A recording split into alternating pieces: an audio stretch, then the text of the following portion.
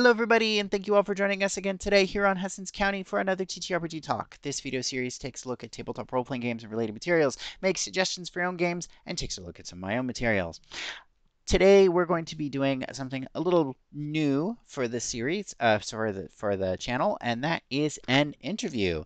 Um, in one of the last sorts of looks at different Zines that are being released for ZineQuest, we are doing an interview of uh, several people who are releasing the Hard Light dynamic. Uh, this is a sort of supplemental Zine that's compatible with Cyborg that I definitely think you should check out. So let's get started. All for joining us uh, and uh, welcome to the channel, Chris and Joshua. Why don't you both introduce yourselves a little bit for those of you who are unfamiliar for, with you? Uh, yeah, my name is Chris Koger. Uh, I'm part of Spooky Build Games, local to San Antonio, Texas. Uh, I've been playing and running role playing games, I don't know, since like the mid 90s when I was a very young child. Uh, and I've been in and out of the scene, you know, over the years and back in it more heavily about the last decade or so. Um, and have been excited to explore the kind of new indie role playing scene that's really developed lately. So, cool. Yeah, my name is Joshua. Uh, I'm relatively new to board gaming myself. I only recently, I recently, as in like the mid 2010s, started playing, you know, RPGs, um, and I made comics at the time. And for me, it was something that let me merge those two things: the love of creation and telling stories. So that's how I got started. And uh, I more recently have worked with Storywood Games, another local to San Antonio board game collective, and um, we published some stuff Holy Artifacts of the Sacred Tragedies was a, a big Mörk Borg thing we did. Mm. Uh, Psalms, we did a Psalms uh, little zine for one of the miseries. And uh, we also did a system neutral Junction City. So that was all those are all ton, tons of fun to make in terms of Kickstarters and uh, just kind of continue that trend. Sweet. Well, that sounds really great. Um, so in the intro, I mentioned uh, that uh, the uh, hard light dynamic is intended to be played with the sort of cyborg system, but what is the elevator pitch for your Zine? For me, my go-to just to kind of get people excited is I say it's a heist gone wrong. It's mm-hmm. not like a full heist gone wrong. There's definitely a lot more to it than that, but like the easy, you know, just to kind of help the audience person get their kind of head around it. It's to say like it's a heist gone wrong. Mm. Nice. Um, yeah, definitely the heist gone wrong is a good way to get people in. I always let people know also there is an AI at the bottom of this place that you're exploring. Uh, and this AI is kind of melting reality slowly down around itself. So get ready for things to get very weird. Very, very trippy. Oh boy. Yeah. Um, well, just from uh, getting a chance to to hear some about uh, your uh, Zine so far, I have noticed that there are a number of different things that would appeal to storytellers and game masters, like all kinds of randomized tables and stuff like that. But I'm kind of curious on if there might be anything interesting for like just a regular player of Cyborg uh, that goes beyond the actual like heist itself that you th- that you mentioned that goes wrong. Amazing. I think there's a, a ton of stuff that you can take out of there. Um, I, like I think the tables, like you said, we, we worked really hard to put some really cool tables together. I think we came up with some really fun traps and encounters and you know all sorts of stuff in there that you could just take and, and put into another situation entirely um, and have it work just as well. Yeah, if you're a player, also there's two new classes in there. Uh, so mm. if you want to kind of explore something that's a little bit different, you know, then uh, there's two kind of classes that they fit the flavor specifically of the adventure, but they're totally mm. usable in any cyborg campaign. Okay, so they're not like dependent on that AI that you mentioned that's kind of melting reality necessarily being there for them to work. Exactly. Yeah. Okay. Yeah. They fit pretty well into the whole Psy world there. So. Okay. Yeah, that makes sense. All righty. Um, so um I mean, I, I, I know that both of you have done uh, stuff for Mörk Borg before. We do have uh, a review uh, or an interview rather uh, on the Hessan's County blog that we uh, for a product you, that you'd made earlier. But I'm curious on why you chose Cyborg specifically to tell this sort of like this AI story that you have in the in the hard light dynamic. Um, and how do you feel that the heist sort of best leverages the cyborg system? That's a fun question. Also, I appreciate your coverage earlier of Beyond Deep, uh, the Mörk Borg adventure that Wes Askales and I did together for Parts mm-hmm. People Games. Um, but yeah, I, I I like the Borg systems. Uh, I like Free League and kind of the aesthetic of Stockholm Kartell that did Mörk Borg and Cyborg. Um, you know, there's like the practical aspects. Um, they're they have a really great third party license. They love creators. They make it really easy for you to make things for their systems. Mm-hmm. Um, but they also have a really clean running system of like it's good mechanics, like it plays well. Like people can pick it up, you know, and really enjoy it, but there's enough depth there to like keep you locked in. Plus, in Cyborg, they expanded some ideas out from Mörk Borg, you know, and got into nanotechnology and you know hacking and like these kind of things, but didn't overburden it. You know, they kind of mm. kept that streamlined uh, mentality to a lot of it. Um, and then it just drips in, with oozy style. You know, there's mm. you know all kinds of weird, you know, like infections and infestations you can get. There's weird biological stuff going alongside the cyberpunk stuff.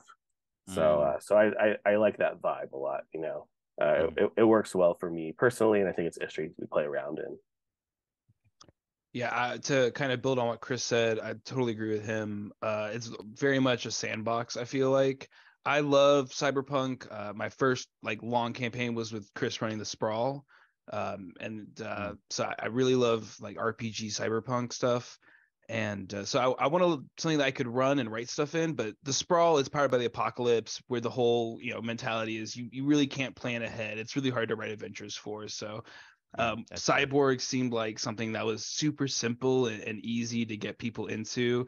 And then I, I, I like to when people ask me this question, I like to say, you know, I, I make things for the people around me. Like I play with them. I, I try to write stuff that I know my friends know that I know that is easy to get them to sit down and play at the table. So, uh, you know, they might not know Cyborg, but if if someone at the table knows Cyborg, it's really easy to have a player help them learn along. It's really easy to teach people the game in general. And and like Chris said, it just kind of flows really well. So once once you get going, it's hard to kind of to stop. So I, will uh, I'll play it with my friends a lot of times, and and, and I try to play to that audience and, and, know what they like. So that, that was one of the reasons why I, I went with Cyborg on this one was to have that cyberpunk, but you know, play and find out.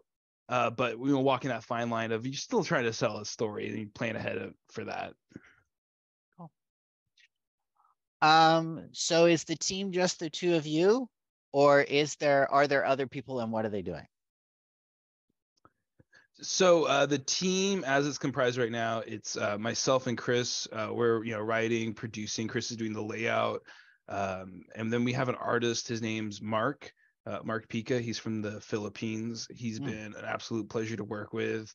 Um, you know, we stumbled upon him one day on a Hungry Artist forum, and uh, you know we connected with him, and it's just been a blast working with him. He's been uh, an absolute pleasure, and I can't wait to show you guys all the art that he's done so far.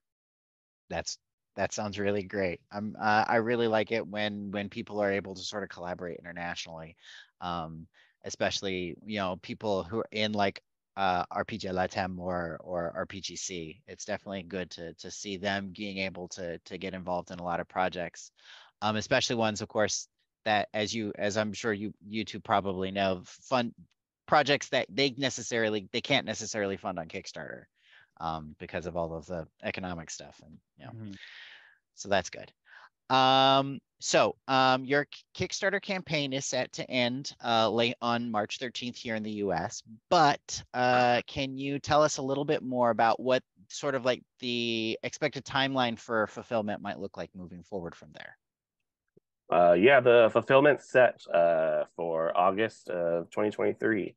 Um, so you know we feel good. We've we've both done projects before on Kickstarter. Uh, you know, they've been successful. We've been able to fulfill them. Um, actually, like I was laughing, so I was uh, talking to Josh and I was talking to to Wes, uh, and uh, you know, on the day that we launched the Hardlight Dynamic, like a whole bunch of boxes of like hundreds of copies of Beyond Deep landed on his doorstep, you know. uh, you know, so uh so that those have been getting packed up, you know, on one side while we kind of launched this campaign on on the other side of things. Uh but yeah, I mean, the writing is there, the art is coming in. Um, you know, you never know with, you know, kind of the world the way it is and shipping gets weird sometimes internationally and stuff mm-hmm. like that. Uh, you know, sometimes there's weird shortages, but August looks good. Sounds great. Okay, um, I have one more parting question for both of you. Um, and this one might be a little bit of a doozy, so I apologize ahead of time. Why um, do it, this to us? well, I mean, I did it in the other interview, so I just got to do it again, right? yeah. Uh, um, if you could describe sort of like the feeling or the plot of the hard light dynamic using a piece of like uh not TTRPG media, um, so a music, TV show, video game, anything like that, what would it be?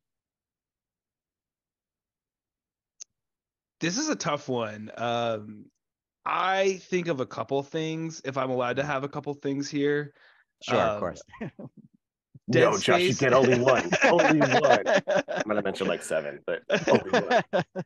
I, I think of um, Dead Space as like a video game. I, I think mm. that's something that for me, when I'm thinking of building atmospheric horror, especially with the re-release that came out recently, it's just still like a really, you know, if that's your Right, if that's what you like in your horror, it's really good at building that atmospheric horror and dread. Mm-hmm. Um, I also uh, just some comics. I like I said, I read a lot of comics. Mister Miracle, uh, trying to pull some of the weird aesthetics mm, from that yeah. run from Tom King and, and Mitch Gerads, really good. Um, and then Gideon Falls, that was another one that I read uh, a lot that we were talking about by uh, Jeff Lemire and I think Andrea. I can't remember their full name, but they're very good books to read. Mm-hmm yeah, Gideon Falls is killer. Um, yeah, you know, it is it is funny, right? Like there's things that that I want to write that are so hyperly affected by a certain idea or thing. Like Josh and I have talked about, like we really want to do an adventure based around the movie Green Room. Um, mm. I'm obsessed with it. I I literally rented a theater and did a screening and made a zine for it and stuff. You know what I mean? And so mm. like when that comes out, there's gonna be other stuff in there, but that that's gonna be the thing. Mm. Um, you know, with with uh, the Hardlight dynamic, it's you know like it's got you know Annihilation in there. It's got Suspiria in there. You know, mm. it's got Mandy in there, and you know, it's got a, a, little head in there, and Altered Carbon, and the Matrix, and Altered States, and you know, like all these like little pieces of stuff. You know, mm. from kind of the acid horror, psychedelic horror world, and the cyberpunk world, and we kind of like threw them in the blender, put them all together, and then made sure we had a good kind of story and feel through it. You know, mm. and then mm. built a toolbox around you know that so that way you could still really mess with it and play with it for your group, but there is kind of a good through line that like makes it feel cohesive at the end. Cool. Good. Um, actually, I know I said that that was going to be our parting question, but I have a follow up based on what you just said. Let's do it. Does the current stuff going on with with with AI you know the virtual intelligences that people are creating have something to do with this ai that you created in the basement of this building.